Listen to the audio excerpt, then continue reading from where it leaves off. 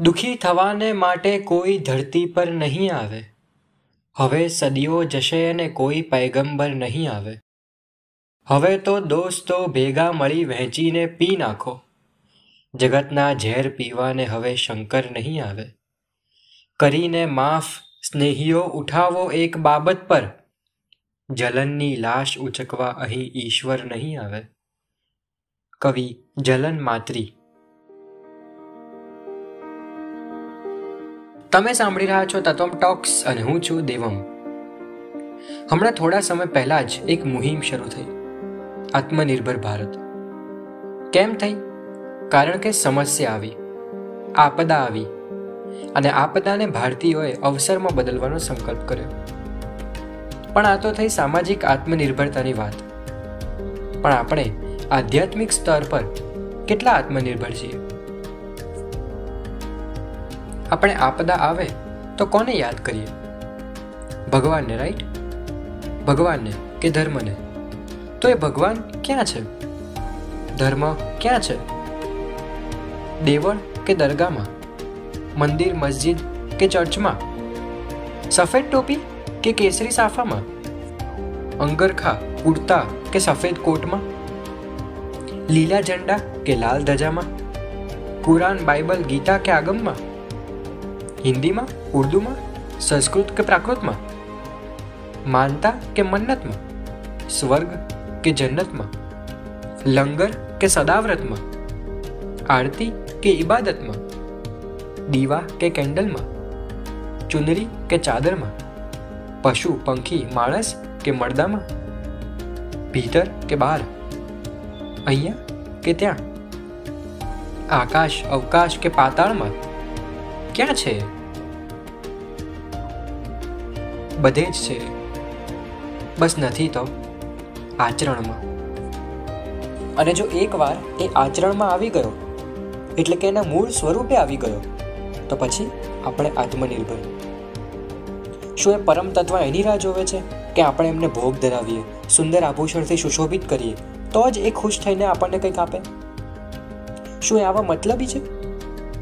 શું ફક્ત આપણે મંદિર બનાવીને દેખાડીએ, તો જ એ જોઈ શકે? આપણી અંદર ઝાંકીને ન જોઈ શકે કે કેટલો ભક્તિભાવ ભળ્યો હતો? શું અઠવાડિયાના કોઈ ખાસ દિવસે મંદિર ન ગયા તો આપણું નુકસાન થશે?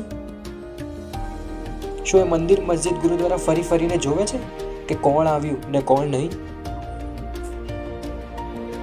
આ બધા જરૂર ભક્તિમાં લીન થવાના સાધનો છે. પણ આ એના સાધન નથી. જે સાધ્ય સિદ્ધ કરવાનું છે. ધર્મની બહુ બધી વ્યાખ્યાઓમાંથી એક એ પણ છે કે જે જીવનને ઉન્નત ને આત્માને શુદ્ધ બનાવે એને ધર્મ કહેવાય. તો શું આ સાધનોથી તમારો આત્મા શુદ્ધ થયો? આ સાધનોથી મનની તૃપ્તિ થઈ જશે, પણ આત્માની શુદ્ધિ નહીં થાય. કેમ? હું હાથ જોડીને એમ ના કહી શકું કે, હે નાથ, મને મંજિલ નહીં, મારા આપ મને વસ્તુ નહીં, મને વિચાર આપ. અહીં, આ દુનિયા પર માનવ અવતાર પામ્યા પછી કોઈ આપણને એનાથી વધુ શું આપી શકે? જે લેવું છે, જે છોડવું છે અને જે પણ કરવું છે, એ આપણા હાથમાં છે. અને જેમ હરિવંશ રાય બચ્ચન કહેતા કે મન કા હો તો અચ્છા, ઓર ન હો તો ઓર ભી અચ્છા.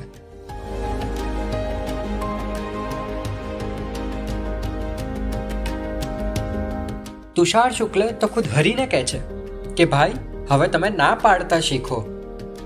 હરી, તમે નાય પાડતા શીખો. માંગ્યા વિનાય કેટલું દીધું સૂરજ, ચંદ્ર, તારા.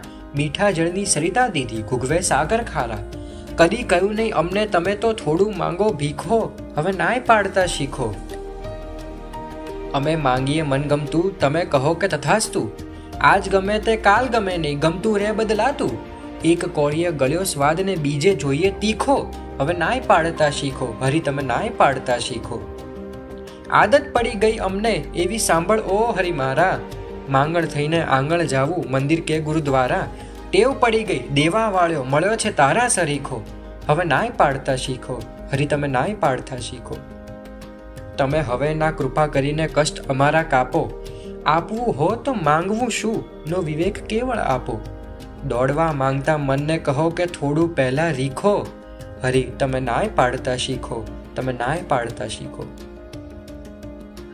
કવિ તુષાર શુક્લ